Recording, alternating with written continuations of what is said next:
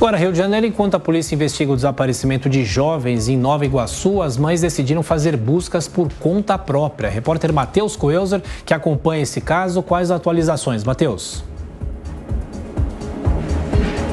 Bom dia, Tiago, Adriana e a todos que nos acompanham. Olha, um caso que teve uma grande repercussão nesse final de semana quatro mães estão em busca de quatro jovens que supostamente estariam mortos depois de uma denúncia anônima. Isso aconteceu, aconteceu em Nova Iguaçu, na Baixada Fluminense. Elas percorreram diversos bairros um pouco afastados, viu, da região central ali de Nova Iguaçu.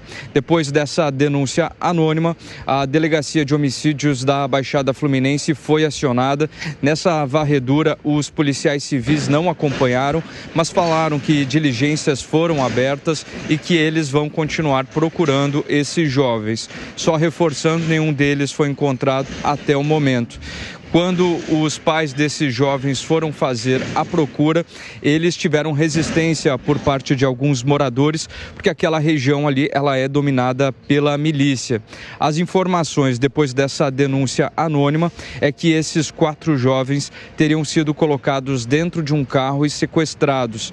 Esses motori o motorista e a pessoa que estava na frente estariam encapuzados. A delegacia de homicídios da Baixada Fluminense vem dizendo que vai continuar com essas buscas e já começaram, na verdade, a partir desta segunda-feira.